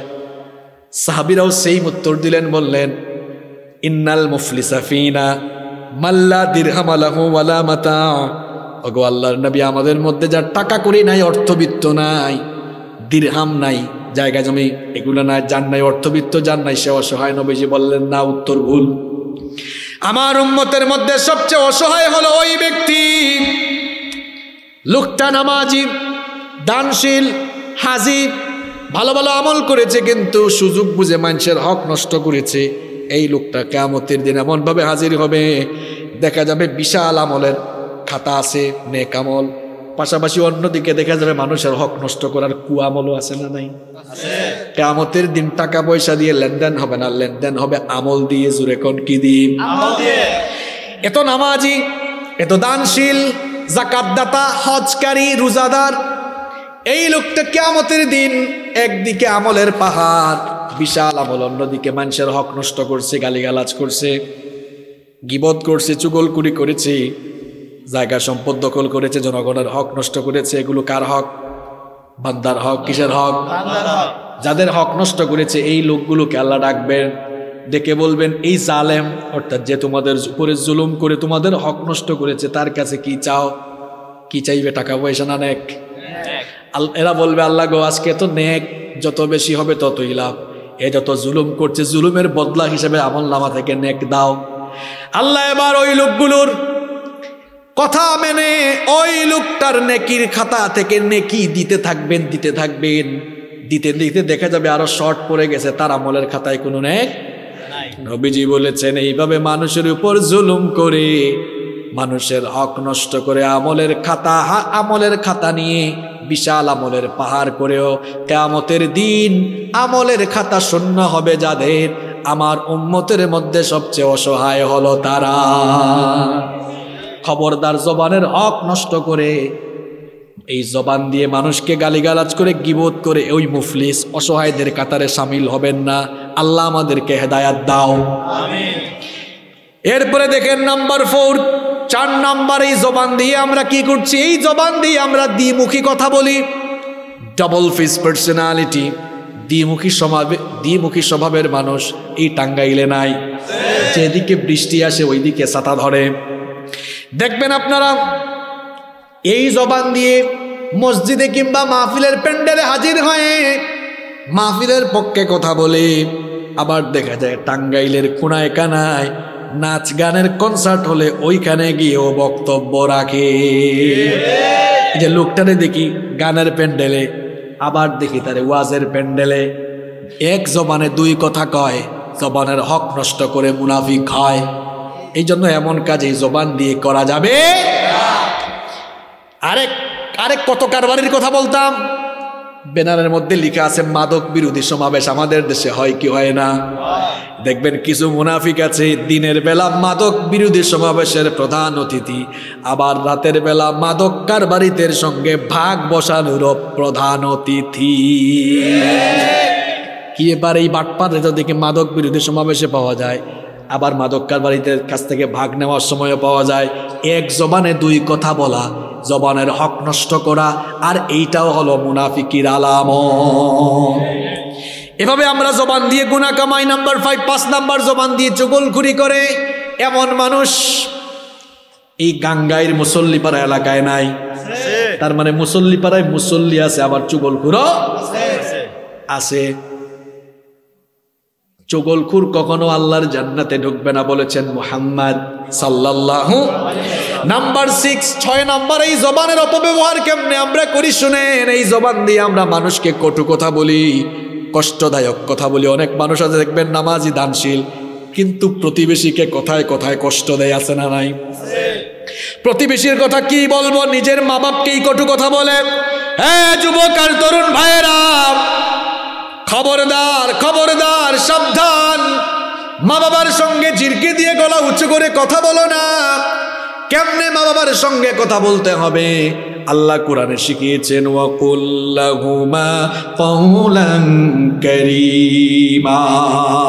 সম্মানজনক ভাষায়, ভদ্র ভাষায়, মার্জিত ভাষায়, বিনয়ী হয়ে মা বাবার সঙ্গে কথা বলো। অর্ডার কার আরেকটু জুড়ে বলেন অর্ডার কার এই জবান দিয়ে আশেপাশের মানুষকে কষ্ট দিয়েন না। দুইটা ঘটনা আমি ছোট্ট করে বলি, শুনেন। নবীজি সাহাবিদেরকে নিয়ে বসা এক মহিলার লাশ সামনে দিয়ে সামনে দিয়ে যাচ্ছে। সাহাবাই কেরাম বললেন, নবী গো, এই মহিলা নামাজি ছিল, এই মহিলা দানশীলা ছিল, মহিলা নেককারিনী ছিল, কিন্তু তার জবানে একটু সমস্যা ছিল। মানুষকে একটু কট কথা বলতো। প্রতিবেশীকে এই জবান দিয়ে কষ্ট দিত? নবীজি বললেন, যতই ইবাদত গুজারি হোক না কেন, জবান দিয়ে মানুষকে কষ্ট দেওয়ার কারণে সে জাহান্নামি হবে। কিছুক্ষণ পর আরেকটা লাশ যাচ্ছে। সাহাবিরা বললেন, নবী গো, এই মহিলা বেশি ইবাদত গুজারি ছিল না। কিন্তু মহিলার জবানটা ভালো ছিল। এই জবান দিয়ে কোনোদিন মানুষকে কষ্ট দেয় নাই। নবীজি বললেন এবাদত একটু কম হলেও এই জবান ঠিক রাখার কারণে জবান দিয়ে মানুষকে কষ্ট না দেওয়ার কারণে আল্লাহ তাকে জান্নাত দিবে। ঘটনা থেকে কি বুঝলেন? জবান দিয়ে কখনো খবরদার মানুষকে কষ্ট দিবেন? এই জবান দিয়ে অনর্থক কথা বলবেন না। এখন মাহফিলেও অনর্থক কথা বলে এমন বক্তা নামের তক্তা আছে না নাই? হায় হায় হায়। মাহফিল নিয়ে ইসলাম বিরোধীরা কেন আজে বাজে কথা বলে? কারণ আজে বাজে কথা বলার সুযোগ কিন্তু কমিটি তৈরি করে দিয়েছে। বলবেন, হুজুর, কেমন? আপনারা টাঙ্গাইলের মানুষ, শিক্ষিত মানুষ, আলেমদেরকে দাওয়াত করেন। আমার আগে যে ভাই আলোচনা করলেন, আমি শুনেছি এসে কি সুন্দর করে আলোচনা করলেন। আমিও বলতেছি, কোরআন হাদিসের বাইরে কি বলতেছি নাকি? কিন্তু দেখবেন অনেক জায়গায় ওয়াজ মাহফিলের নামে প্রতিযোগিতা হয়। এই এলাকায় ছাব্বিশ ইঞ্চি বক্তা আছে। কয়, আমরা আরও দুই ইঞ্চি কমাইয়া চব্বিশ ইঞ্চি আনব মহিলা থেকে পুরুষ হওয়া বক্তা ন মুসলিম বক্তা, শিশু বক্তা, শিশু আবার বক্তা হয়ে কেমনে? এগুলো সব কেমতের আলামত। আলেম চিনুন, এটা ফাইজদামি করার জায়গা না। এই যুবকগুলো খেয়ে না খেয়ে দিনের পর দিন কষ্ট করে সারাদিন হয়তো আজকে এই যুবকগুলা খায়ও নাই, এখনও খায় নাই মনে হয়। এত কষ্ট করতেছে মাহফিলের জন্য পকেটের টাকা খরচ করে এরা মাহফিলের আয়োজন করে। এইসব আউল ফাউল আউল বাউল শিশু বক্তা চব্বিশ ইঞ্চি ছাব্বিশ ইঞ্চির তামসা দেখার জন্য না। প্রত্যেকটা সেকেন্ডকে কাজে লাগান। আলেমদেরকে নিয়ে আসুন। যারা কোরআন দিয়ে হাট হাদিস দিয়ে মানুষদেরকে নসিহত করে জীবন পরিবর্তনের কথা বলে আখলাকের কথা বলে এদেরকে নিয়ে আসুন। তাইলে মাহফিল নিয়ে আর মানুষ আজে বাজে কথা বলবে আবার মাহফিলে বসে এখন খুজুর আরে খুজুরের বিরুদ্ধে কয়, এটা করতে কে করেছে আপনারে? এরকম হুজুরে হুজারে রেশারেশি বাদ দেন। জনগণকে এবার ভালো কথা বলেন? আমাদের অবস্থা হয়ে গেছে এমন। মাহফিলে অনেকে বসলে, অমুক কাফের, তমুক কাফের। এটা ভালো না, ওইটা ভালো না। ভালো বানানোর কাজ করেন। খারাপ জিনিস বলার দরকার একজন মায়ের খেলে আর একজন খুশি। কমির হুজুর মায়ের খাইছে আলিয়া খুশি কি হয়েছে এটা না কৌমি? আলিয়ার হুজুর মায়ের খাইছে, কৌমি খুশি এটা আলিয়া। আরে ভাই, আপনি বুঝলেন না। একজন মার খায় আর আপনি খুশি, মনে রাখিয়েন, পরের সিরিয়ালটা কিন্তু আপনার। ইসলাম বিরোধীরা যখন যারে ধরবে, মেরুদণ্ড ভেঙে দিবে। আপনি বুঝেন না এখনও, ঐক্যের গুরুত্ব আপনি বুঝেন না না? আপনাকে এক কথায় আমি বুঝাই, বুঝলে বুঝপাতা না বুঝলে তেজপাতা। একটা লাঠি আপনার হাতে দিব একটা লাঠি ভাঙা সহজ না কঠিন? বলেন ভাইরা বলেন কষ্ট হচ্ছে আপনাদের? একটা লাঠি আপনার হাতে ভাঙ্গা সহজ না কঠিন? এক হাজার লাঠি আপনার হাতে দিত কুতানি শুরু হবে। ভাঙতে পারবে? কি বুঝলেন? যদি আপনি একা একা আলাদা আলাদা থাকেন, খালি দল বানাইতে থাকেন, একজন আর একজনের বিরোধিতা করেন, এক লাঠি যেমন ভাঙা সহজ, ঠিক তেমনি ভাবে ঐক্যবদ্ধ না হয়ে আলাদা আলাদা থাকলে যে যখন যারে ধরবে, মেরুদণ্ড ভেঙে দিবে। এক হাজার লাঠি যেমন ভাঙা যায় না, ঠিক তেমনি ভাবে সব আলেমরা যদি দিলটা বড় করে ঐক্যবদ্ধ হয়ে যায়, ইসলামের বিরুদ্ধে, আলেমুল আমাদের বিরুদ্ধে ইসলামের বিরুদ্ধে কিংবা আলেমুল আমাদের উপরে নির্যাতন করা তো দূরের কথা, এই জমিনে ইসলামের বিরুদ্ধে কথা বলার সাহসও কেউ পাবে না। আল্লাহর ওয়াস্তে একটু বুঝুন, এই দেশের মুসলমানরা আলেমদেরকে এক টেবিলে এখন দেখতে চায়। আল্লাহ যেন আমাদেরকে বুঝার তৌফিক দান করে। এরপরে দেখেন নাম্বার সেভেন, সাত নাম্বার, এই জবান দিয়ে আমরা শোনা কথা বলে বেড়াই। এইরকম আছে না নাই? নবীজি বলেছেন, একজন মানুষ মিথ্যাবাদী হওয়ার জন্য এতটুকুই যথেষ্ট, যা শুনে তা বলে বেড়ায়। যাচাই বাছাই করার দরকার আছে না নাই? এই যে ফেসবুক শোনা কথা প্রচার করার সবচেয়ে বড় মাধ্যম এখন। দেখবেন, অনেক মানুষ মারা যাওয়ার আগে ফেসবুকে আমরা হাজার বার মেরে ফেলি। এই যে এরশাদ সাহেব মারা গিয়েছেন, এই এরশাদ কাকুকে হাজার হাজার বার মানুষ ফেসবুকে মেরে ফেলেছে। আসরা নাই? গুজব ছড়ায় দেয়, এটা কিন্তু মারাত্মক গুণা। নিষেধ করেছেন আল্লাহ, নিষেধ করেছেন মুহাম্মদ সাল্লাল্লাহু তাহলে জবান দিয়ে শোনা কথা বলে বেড়ানো, জবানের হক নষ্ট করা, এটা করা যাবে আবার দেখে নাম্বার এইট, আট নাম্বার এই জবান দিয়ে দেখেন কতগুলো পয়েন্ট বলতেছি। আমি আলোচনার শুরুতে বলেছিলাম, দুনিয়ায় সবচেয়ে বড় গুনাহের ফ্যাক্টরির নাম, এইটা কন্ট্রোল করেন, দেখবেন এইটি থেকে নাইনটি পার্সেন্ট গুণামুক্ত থাকতে পারবেন। আট নাম্বার বলছি, জবান দিয়ে আপনি মানুষকে ঠাট্টা উপহাস করে কথা বলেন। আল্লাহ তালা সুরা হুজুরাতের এগারো নম্বর আয়াত এটা নিষেধ করলেন, ইয়া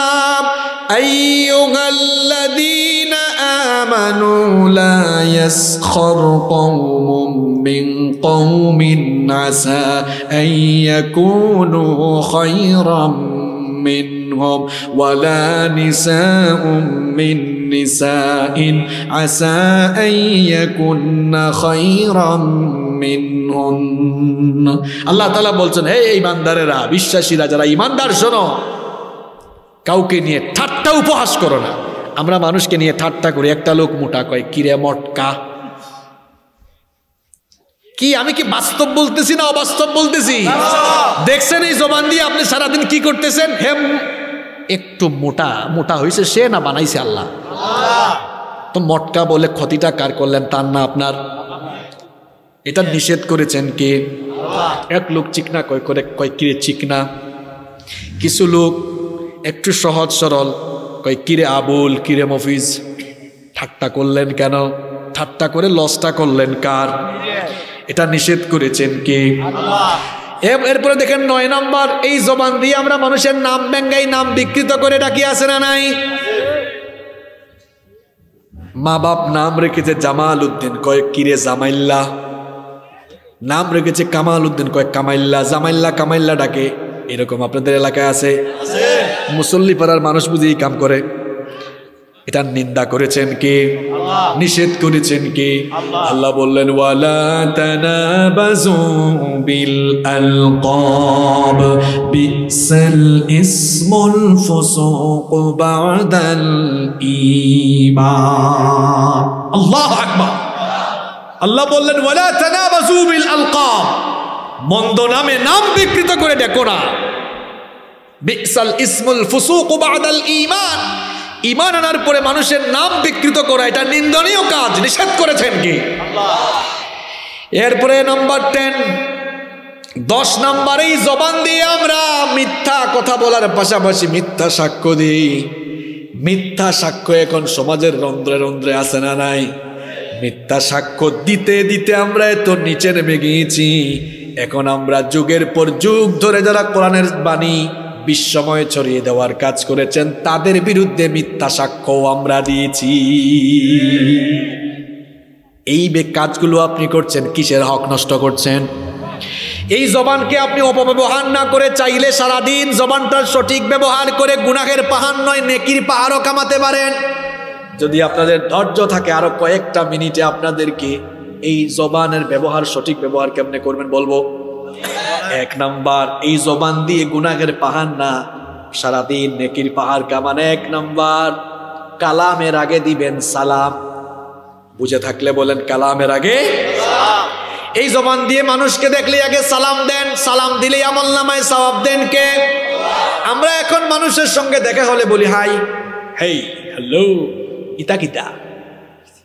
আমি সিলেটি মানুষ জানেন আপনারা? আপনার সিলেট হয় ইতা কিতা? কিতা আলত লাগাইছো?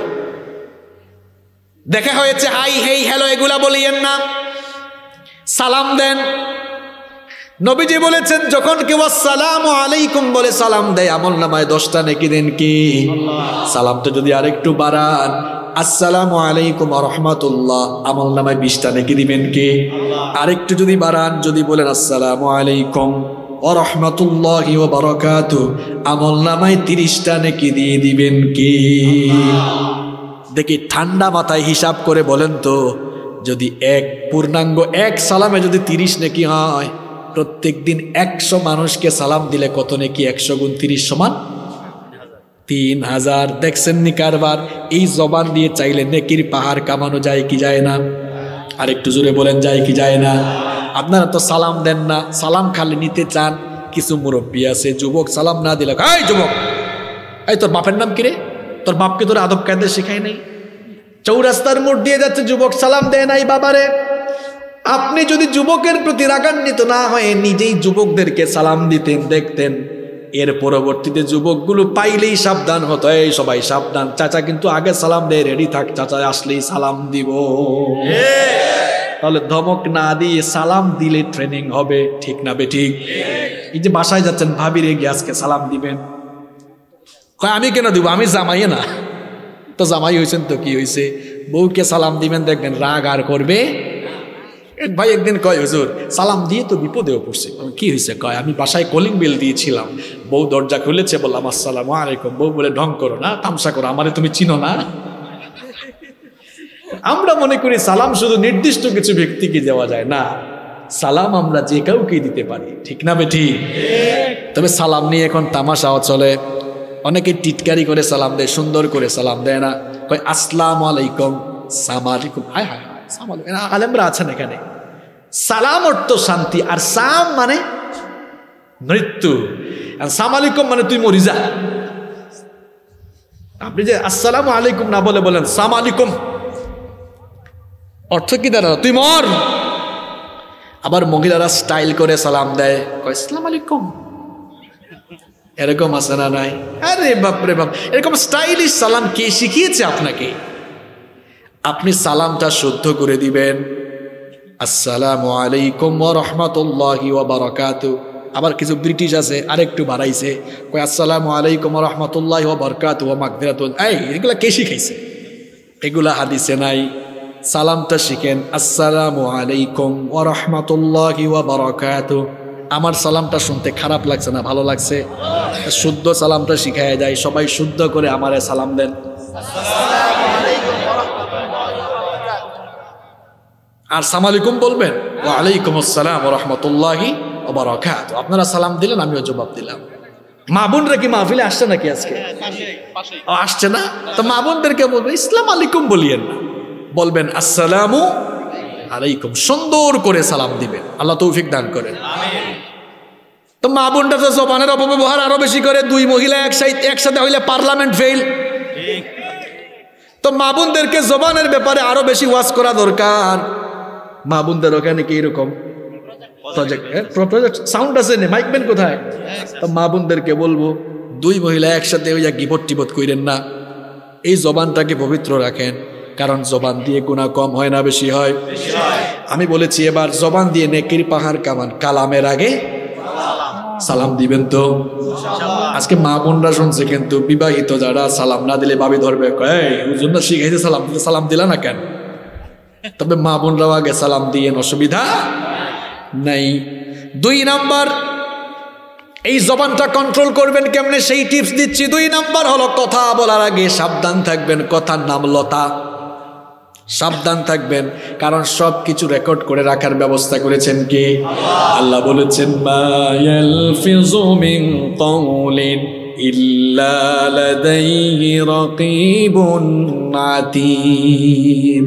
তুমি এমন কোনো কথা বলো না, যা রেকর্ড হয় না, সব রেকর্ড করে রাখছেন কি? কথা বলার আগে এই জন্য সাবধান থাকবেন। তিন নাম্বার কথা বলার সময় হাসি মুখে সুন্দর কথা বলবেন, কিছু মানুষ আছে সারাদিন পেশার মতো মুখ করে রাখে। আছে না নাই? কি ব্যাপার? মুখটা এমন কেন? একটু হাসি মুখে কথা বলবেন। এই যে আমি আপনাদের সামনে আসলাম, সুনামগঞ্জ থেকে এখানে আসছি, অনেক জার্নি করে আসছি, মুখটা বেজান না, হাসি হাসি আছে না নাই? এরকম হাসি মুখে কথা বলবেন, এটা শিখিয়েছেন কে? আল্লাহ বলেছেন, ওয়াকুলু লিন্নাসি হুসনা। উত্তম ভাষায় কথা বল। দেখেছেন? কথা বলার আদব কোরআনে আছে না নাই? আবার দাওয়াতের সময় আল্লাহ বলেছেন কৌলাল্লাইনা নরম ভাষায়। আবার অন্য জায়গায় বলেছেন উদুইলা সাবির রব্বিকা বিল হিকমা ওয়াল মাউইজাতিল হাসানা স্থান কাল পাত্র বুঝে কথা বলবেন, হিকমতের সঙ্গে উত্তম নসিয়তের মাধ্যমে শেখাচ্ছেন কি? এবার আসেন চার নম্বর। এই জবান দিয়ে অনর্থক কথা বলবেন না। অহিতুক ফালতু নোংরা কথা বলবেন না। এটা মুমিনের স্বভাব নয়। মুমিনের নামে কোরআনে একটা সুরা আছে না নাই? সুরার নাম সুরাতুল। এই মুমিনরা যেন কথা বলার সময় অসংলগ্ন, অযাচিত, অপ্রাসঙ্গিক, ফালতু কথা না বলে অর্ডার দিয়েছেন কি?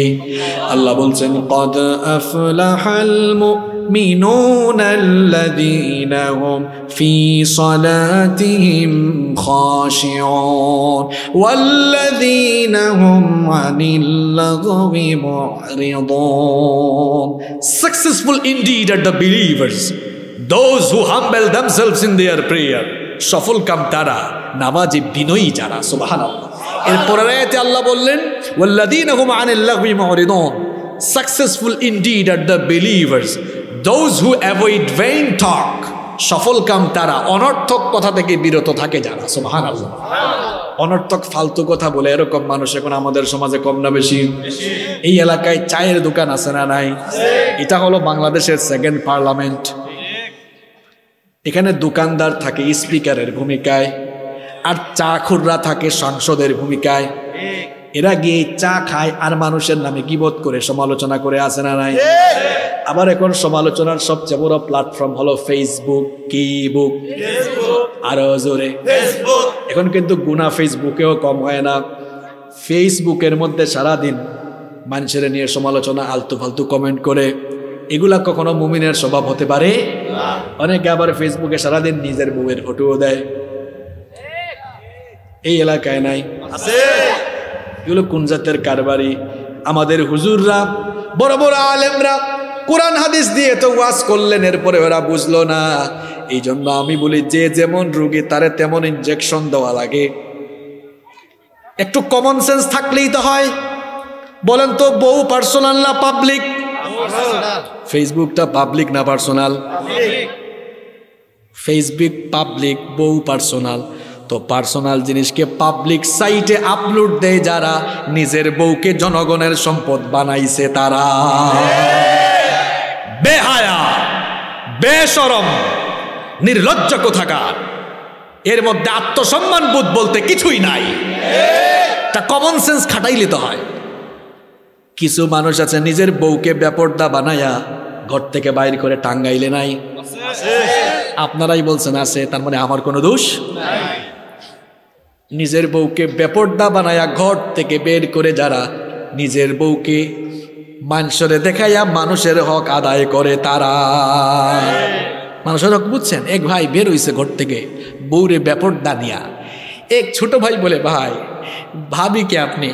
এরকম নিয়ে বের হয়েছেন কেন? কয়, তোর ভাবি কত সুন্দর, এটা আমি না জানি। এলাকার মানুষ জানে না, এলাকার মানুষের একটা হক আছে না? ঠিক কয়, তুমি কি এই কাম করো নাকি? বিয়ে করছ? তো বিয়েই তো করো না তুমি মিস মিসকিনে করো তো বিয়ে বিয়ে সাথে যারা করছেন এই কাম কি করবেন নাকি? নিজের বউয়ের ফটো ফেসবুকে আপলোড দেয় ব্যাকুব এরপরে মানুষ কমেন্ট করছে ওই ওয়াও ভাবিকে হেভি লাগতেছে হে খুশি হয়ে কই থ্যাংক ইউ আরেকজন লিখছে ওয়াও জোস লাগতেছে বেকুব কার জোস খেয়ে খায়? খবরদার বউয়ের ফটো মা বোনদের ফটো ফেসবুকে দিবেন। এখন কিছু বোনরাও ফেসবুকে নিজের ফটো দেয়। মেসেঞ্জারের স্টোরিতে দেয় হোয়াটসঅ্যাপের স্টোরিতে দেয় ইনস্টাগ্রামে দেয়। আবার ছোট ছোট মেয়েরা এখন যে টিকটক বানায়, হায় হায়। সিক্স সেভেনে পড়ে। এইট নাইনে পড়ে। আচ্ছা এদের হাতে ফোন দিল কারা? হ্যাঁ? বলেন না। এই যে আমার ভাই, আমার আগে সন্তানের হক নিয়ে কথা বললেন। কি বুঝছেন আপনারা? অনেক জায়গায় মাহফিলে গেলে কয়, হুজুর, একটু মা বাবার খ্যাতমতের ওয়াজ করেন তো। আমার আগে যিনি আলোচনা করেছেন, তাকে ধন্যবাদ। এক বেকুব গাছ না লাগাইয়া ফলের আশা করে বসে আছে। গাছ না লাগিয়ে ফলের আশা করা যেমন বুকামি, সন্তানের হক আদায় না করে সন্তানের কাছ থেকে খেদমতার আশা করাও বুকামি। এই এইট নাইন টেনে পড়া ছেলে মেয়েদের হাতে ফোন দিছে তো আপনারাই। এক জায়গায় মাহফিলে গেলাম এক লোক কয়, হুজুর, আমার মেয়ে জেডিসিতে ভালো রেজাল্ট করছে গিফট হিসাবে আইফোন দিছি। বললাম, ভালো করছেন, কিছুদিন পর আপনার জামাই উপহার দিবে। ইন্টারমিডিয়েট পাশ করার আগ পর্যন্ত ছেলে মেয়েদের হাতে ফোন দিবেন না। এই ইন্টারমিডিয়েটের আগ পর্যন্ত যে সকল ছেলে মেয়েরা এখানে আছো, আজকেই মা বাবার হাতে ফোন দিবা। কিসের টিকটক বানাও তুমি? কিসের ছবি আপলোড করো তুমি? আমার মা বোনদেরকে বলব খবরদার। ফেসবুকে ছবি আপলোড করবেন না। নিজের এই সৌন্দর্যকে আপনি আপনার হাজবেন্ডের জন্যই রাখুন। এই সৌন্দর্য অনলি ফর ইউর হাজব্যান্ড কেবল আপনার স্বামীর জন্য অন্য পুরুষের জন্য নয়। পর্দা করার আটটা উপকারের কথা বলি কয়টা? আর একটু জোরে কন। এক নাম্বার আমার বোনদেরকে বলব পর্দা করলে কবরের আজাব জাহান নামের আগুন থেকে বাঁচাইয়া দিবেন কে? আমার বোনদেরকে নসিহত করে যাচ্ছি পর্দা করেন আটটা বেনিফিট পাবেন এক নাম্বার পর্দা করার কারণে কবর আর জাহান নামের আগুন থেকে বাঁচাবেন কে? দুই নাম্বার পর্দা না করলে নিজের বাবা বড় ভাই স্বামী এরা দাইয়ুস হয়ে যায় আর দাইয়ুস কখনো জান্নাতে ঢুকতে পারে? পর্দা যদি করেন নিজের বাবা ভাই স্বামীকে দাইয়ুস থেকে বাঁচাতে পারবেন এটা কয় নাম্বার উপকার? তিন নাম্বার পর্দা করলে কিন্তু আলাদা মেকআপ করা লাগে না। এখন কি জানি আছে আশকারা মাসকারা কত কত কিছু যে আছে আলাদা টাকা খরচ করা লাগবে না। পর্দার ভেতরে থাকেন মেকআপের বাড়তি খরচ। চার নাম্বার পর্দা করলে সম্মান কম না বেশি। সম্মানিত হবেন। পাঁচ নাম্বার পর্দা করার কারণে মানুষের কুনজর থেকে বাঁচা যায়। জন্য আমি বলি, যেই মেয়ে পর্দা করে না, সে তার নিজের রূপ মানুষকে দেখাতে চায়। এই জন্য তো পর্দা করে নাই। কি গো? হ্যাঁ এত শখ উঠছে বুঝি মানুষের দেখানি না? করার পাঁচ নাম্বার উপকার হলো মানুষের কুনজর থেকে বাঁচা। ছয় নাম্বার, আপনাকে দেখে আপনার সন্তানগুলোও পর্দাশীল হবে, সন্তানগুলোও ভালো হবে। মহিলাদের পেট শুধু পেট নয়, মহিলাদের এই পেট থেকে পয়গাম্বার নবী রাসুলের জন্ম হয়েছে, সাহাবি বড় বড় অলিয়া অলিয়ার জন্ম হয়েছে। এই জন্য যেই মহিলা যত পর্দায় থাকবে সন্তানগুলোও তত ভালো হবে। পর্দার সাত নাম্বার উপকার হলো, নিজে নিরাপত্তা পাবেন, ইজ্জতের গ্যারেন্টি থাকবে। পর্দার আট নাম্বার উপকার হলো আপনার পর্দা করার কারণে সমাজের অনেক পুরুষ গোনা থেকে বেঁচে যাবে। পর্দা করা পর্দা করাবেন তো মা বোনদেরকে আর মা বোনটা তো শুনতেছেন তারাও যেন করেন বলেন আমিন। চার নাম্বার বলছিলাম এই জবান দিয়ে অনর্থক কথা বলবেন না পাঁচ নাম্বার। এই জবানটাকে কাজে লাগাবেন কেমনে? সঠিক ব্যবহার করবেন কেমনে? জবান দিয়ে কর্কশ ভাষায় কথা বলবেন না। সুন্দর ভাষায় কথা বলবেন নির্দিষ্ট কার। সাইদানা লুকমান হাকিমের নাম আমরা জানি। তিনি তার ছেলেকে অনেকগুলো ওসিয়ত করেছিলেন। তার মধ্যে তিনি বলেছিলেন, বাবারে, শোনো, ওয়াকসিদ ফি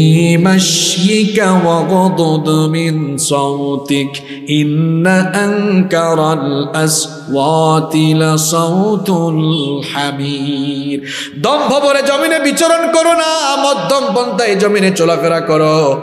নিজের গলার আওয়াজকে কর্কশ করো না, কারণ গাধার আওয়াজটা হলো কর্কশের মতো, এমন কর্কশ ভাষায় কথা বলা যাবে। এরপরে ছয় নাম্বার হলো, আপনি জবানটার সঠিক ব্যবহার করবেন কেমনে? জবান দিয়া দাওয়াত দিবেন মানুষকে কার দিকে? আল্লাহ আর রসুলের দিকে। কারণ এই জবান দিয়ে আমরা যত কথা বলি সব চাইতে ভালো কথা হলো এই যে ব্যক্তি জবান দিয়া মানুষকে আল্লাহর দিকে দাওয়াত দেয় সুবহানাল্লাহ এই জন্য আল্লাহ কোরআনে বলেছেন ومن احسن قولا ممن دعا الى الله وعمل صالحا وقال انني من المسلمين আল্লাহ বলছেন ওর কথার চাইতে আর কার কথা উত্তম হতে পারে যে তার কথা দিয়ে, বক্তব্য দিয়ে মানুষকে আল্লাহর দিকে আহ্বান করে। সুবাহ আল্লাহ পড়ে।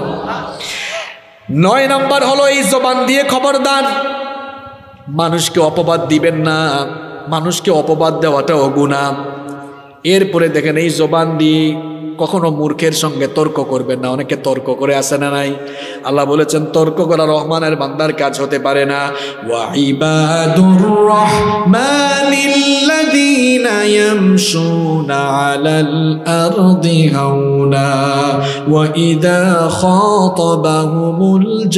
হাওনা সালামা।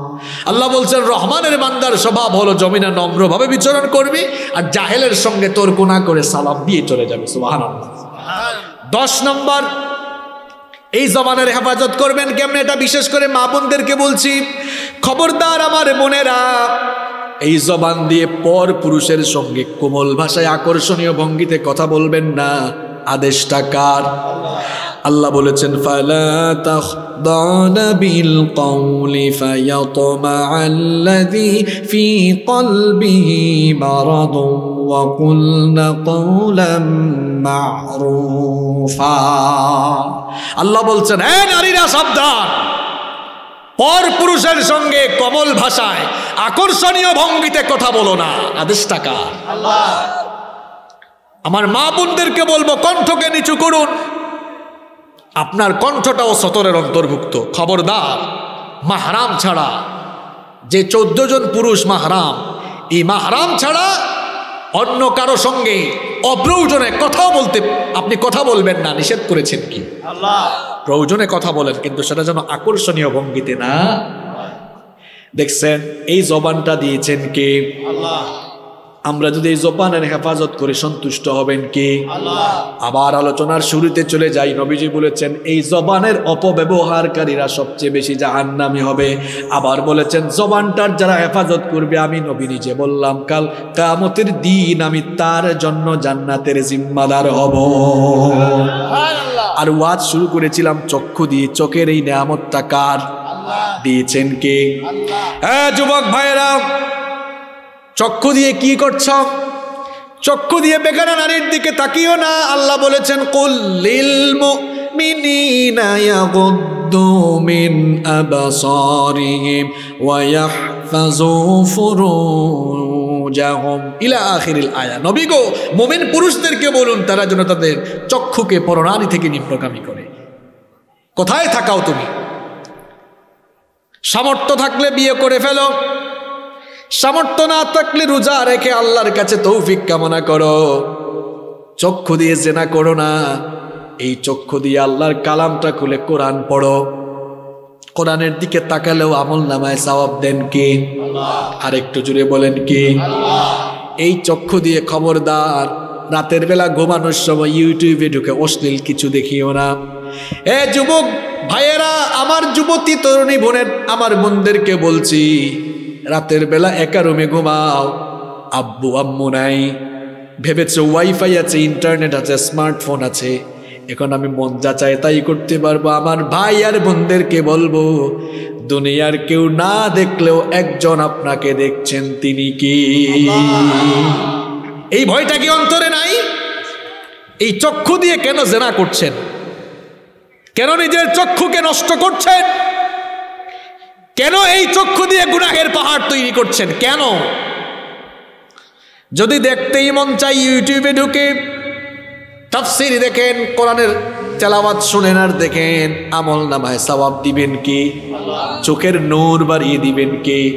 এই যে কান রয়েছে, এই শ্রবণ শক্তি কার দেওয়া নেয়ামত? অনেক যুবক আছে, যুবতী আছে, সারাদিন কানের মধ্যে হেডফোন লাগায় আজে বাজে গান শুনে।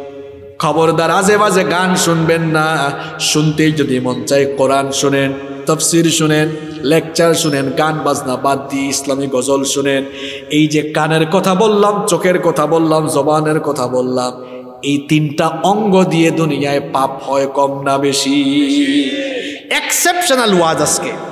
চোখ, কান, মুখ হেফাজতের গুরুত্ব। চোখ, কান মুখ হেফাজতের গুরুত্ব। দুনিয়াতেই তিন অঙ্গ দিয়ে পাপ কম হয় না বেশি হয়। আলোচনা শেষ করব সুন্দর একটা তথ্য দিয়ে। এই তথ্যটা শোনার জন্য যারা ঝিমাইতে ঝিমাইতেছে ঝিমানো সারানো দরকার। পাঁচ মিনিট বিরক্ত লাগবে আপনাদের। মজার একটা তত্ত্ব দিব। এই ঘুম যাদের আসছে, এই ঘুমটা আসলে ঘুম আসতেই পারে। আমি তো একটু দেরি করে আসছি। কি করব? ওই সুনামগঞ্জ থেকে আসতেছি আর রাস্তায় যে কুয়াশা। একটা তাকবির দিয়া এদের ঘুম ভাগাবো শোনেন প্রথমে বিবাহিতরা দিবেন। এরপরে অবিবাহিতরা। দেখি কাদের ব্যাটারিতে চার্জ কত বেশি। অবিবাহিত প্রথমে বিয়াইতা যারা বিবাহিতরা। রেডি আপনারা? রেডি দেখি পাওয়ার টাওয়ার কেমন আছে। লিল্লাহি তাকবীর। অবিবাহিতরা শুনছো তো? দেখি তোমাদের কেমন। রেডি লিল্লাহি তাকবীর। তোমাদের তো এনার্জি বেশি থাকবে তোমরা তো বিয়ে করো না এখনও। এবার সবাই দেন, লিল্লাহি তাকবীর। ওদের ঘুম আসছে আর একটু নড়ে ঝরে বসছে।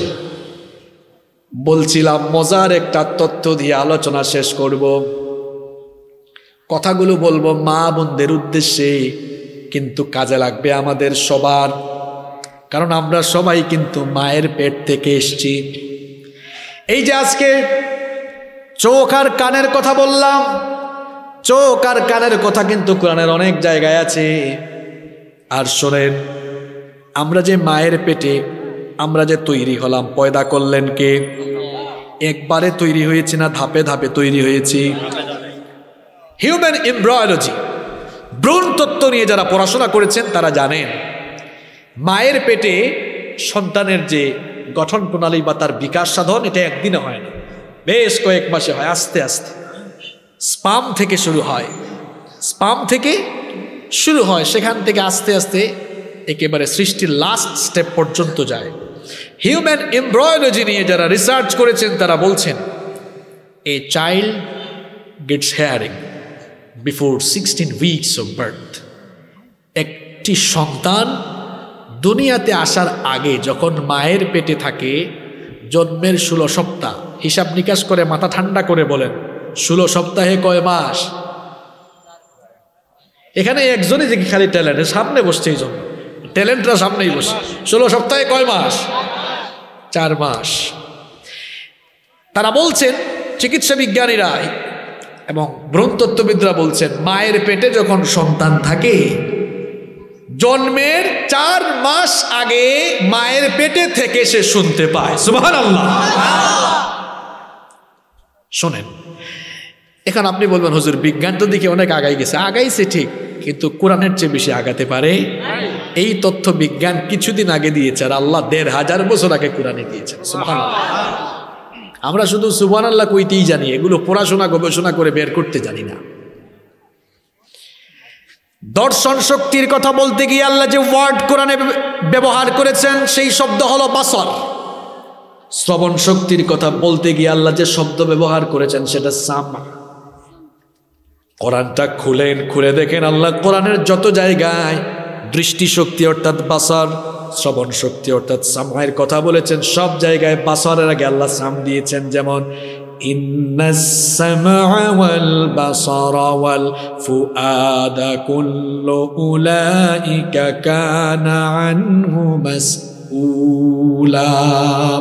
এখানে বাসরার আগে সাম। অন্য আয়াতে যান দেখেন وجعل لكم السمع والأبصار والأفئدة এখানেও আবসরের আগে আল্লাহ সাম দিয়েছেন আধুনিক যুগের মুফাসিরগণ এই আয়াতগুলোর সাইন্টিফিক এক্সপ্লেনেশন বিজ্ঞানসম্মত ব্যাখ্যা করেছেন এইভাবে যেহেতু কোরআনের সমস্ত জায়গায় দৃষ্টিশক্তি অর্থাৎ বাসরের আগে শ্রবণ শক্তি মানে সামায়ের কথা বলেছেন তার মানে মানুষ দৃষ্টিশক্তির আগে শ্রবণ শক্তি লাভ করে। তাহলে কোরআনের দেওয়া এই তথ্য বিজ্ঞানের সাথে মিলছে না মিলে নাই? এটা বলার জন্য বলে না এবার মূল কোথায় আসছে। আপনার যদি কোরআন হাদিস ভালো নাও লাগে, বিজ্ঞান বলছে, পেটে যখন সন্তান থাকে, জন্মের কয় মাস আগে শুনে? হ্যাঁ কথা বলেন, কয় মাস? মায়ের পেটে যেহেতু সন্তান শুনে, আমার বোনরা যদি সন্তান পেটে নিয়ে আজে বাজে জিনিস দেখে আজে বাজে জিনিস শুনে, বিজ্ঞান বলছে, পেটের ভেতর থেকে সন্তান শুনে নাকি শুনে না? ফ্যাক্টরি ভালো প্রোডাক্ট ভালো। ফ্যাক্টরি খারাপ প্রোডাক্টও আমার বোনদেরকে বলছি, আপনারা আপনাদের বিবিদেরকে বুঝাবেন, মা বোনটা তো শুনছেন, খবরদার আমার সন্তানগুলোকে তো আমরাই নষ্ট করছি। যেই নারী সন্তান পেটে নিয়ে সারাদিন ঝাঁকানাকা ঝাঁকানাকা ডিজে ডিজে করে সিনেমা দেখে, নাটক দেখে, এই মহিলার পেট থেকে যেগুলা বের হয় সব ডিজে ডিজে আর ঝাঁকা নাকা ঝাঁকা নাকাই বের হয়। কারণ কাম তো করছে উল্টা। বিপরীত আসেন তো, বিপরীত চিন্তা করেন। মহিলা যদি এবার তার পেটে সন্তান নিয়ে আজান হলেই নামাজ পড়ে, কোরআন তেলাওয়াত করে, এই কোরআন তেলাওয়াতের আওয়াজ পেটের ভেতর থেকে সন্তান শোনে নাকি শোনে না? এমন এমন এমন ভালো, এমন নেককার দিনদার মহিলার পেট থেকে যেগুলা বের হবে, সবগুলো আল্লাহওয়ালা মুত্তাকি কোরআন পাগল, ইসলাম পাগল, বড় বড় আলে মুফাসসির, মুহাদ্দিস হবে, ঠিক কিনা? এই জন্য আমার ভাইয়েরা, বাবারা, মা, বোন, সবাইকে বলব, শ্রবণ শক্তি, দৃষ্টি শক্তি, জবান, অর্থাৎ চোখ, কান, এই জবানের হেফাজত করেন। দেখবেন গুণা থেকে বাঁচা যাবে। এত ওয়াজ করে কি দরকার? এটা ঠিক করেন, এটা এটা। মহিলাদের মুখ বলব, এটা ঠিক করেন। মহিলাদের মুখ আরও ফটর ফটর করে আরও বেশি। ওই যে বলছিলাম না, দুই মহিলা একসাথে হইলেই যে পার্লামেন্ট ফেল তাদের কাছে।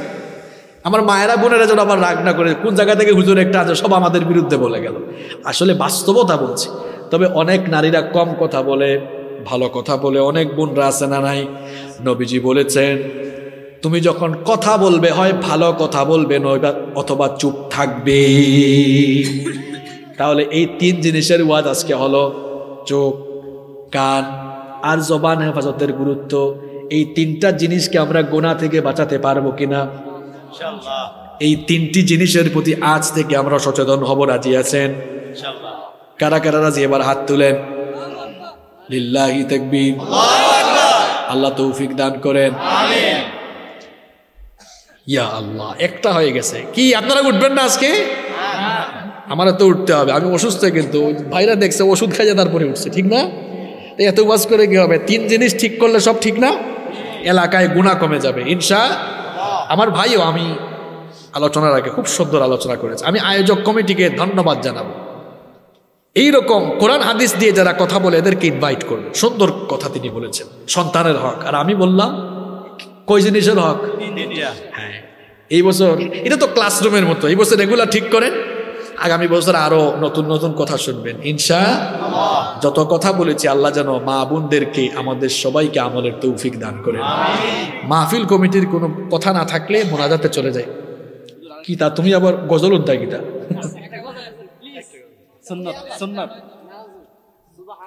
গীতা চাই কেউ উঠবেন না মোনাজাত করে যাবেন ইনশা এটা টাঙ্গাইলের মানুষের বৈশিষ্ট্য। আমি টাঙ্গাইলের মানুষকে প্রচণ্ড ভালোবাসি। এই জন্য ভালোবাসি। আমি আপনারা জানেন কিছুদিন আগে আমি সাগর দিকে তো আসলাম। হয়তো আপনারা গেছেন তাই না? এ তো মানুষ উঠে না এরা। এরপরে আপনাদের এই যে মধুপুর ভুয়াপুর এরপরে ওই জানে এদিকে কি কি জানি কয়? কালীহাতি মির্জাপুর। আমি মোটামুটি প্রায় দুই একটা উপজেলা ছাড়া সবগুলোতে আলহামদুলিল্লাহ গিয়েছি। সব অঞ্চলের মানুষ খুব ভালো আলহামদুলিল্লাহ। এই জন্য আমি টাঙ্গাইলের মানুষকে প্রচণ্ড ভালোবাসি ভদ্র মানুষ আপনারা। আল্লাহ আপনাদেরকে কবুল করেন। একটা বাস্তবমুখী গজল গেয়ে তারপর শেষ করি। এই যে আমরা আমল করি না ভালো কাজ করি না ফুটানি দেখাই তাই না? আমরা তো চোখের পলকে লাশ হয়ে যেতে পারি তাই না? লাশ হয়ে যেতে পারি না? যে কোনো সময় আমাদের জানাজার নামাজ তৈরি হয়ে যেতে পারে। কবর আমাদেরকে ডাকছে তাই না? কত জানাজায় আমরা যাচ্ছি। একটা সময় আমাদেরও জানাজার নামাজ এর সময় চলে আসবে ঠিক না বে ঠিক কত জানাজার পড়েছি নামাজ দিয়েছি কত দাফ জানাজার পড়েছি নামাজ দিয়েছি কত দাফ কোথায় যেন আছে আমারও তৈরি কাফন। জানাজার পড়েছি নামাজ দিয়েছি কত দাফন, কত জানাজার পড়েছি নামাজ, দিয়েছি কত দাফন। আমার তরি বাধায় আছে কোন শেখে ঘাটে কোন মসজিদে এলান হবে সোয়াবে শেষ খাটে আমার তরি বাধায় আছে কোন শেখে ঘাটে কোন মসজিদে এলান হবে সোয়াবে শেষ খাটে? কখন কোথায় করবে দাফন আমাকে সজন জানাজার পড়েছি নামাজ, দিয়েছি কত দাফন। কত জানা জানাজার পড়েছি নামাজ দিয়েছি কত দাফন। কোন বাতাসে কোথায় যেন দুলছে বাঁশের ঝান। কোন সে মাটি কোনখানে ডাকে রে বারবার কোন বাতাসে কোথায় যেন দুলছে বাঁশের ঝাড়? কোন সে মাটি কোনখানে ডাকে রে বারবার? কোথায় যেন বর যাত্রী আছে রে চারজন? জানাজার পড়েছি নামাজ দিয়েছি কত দাফন, কত জানাজার পড়েছি নামাজ। দিয়েছি কত দাফন, কোথায় যেন আছে আমার তৈরি সাদা কাফন। জানাজার পড়েছি নামাজ। দিয়েছি কত দাফন, কত জানাজার পড়েছি নামাজ, দিয়েছি কত দাফন। যাই হোক, কমিটির ভাইদের যেহেতু বক্তব্য নেই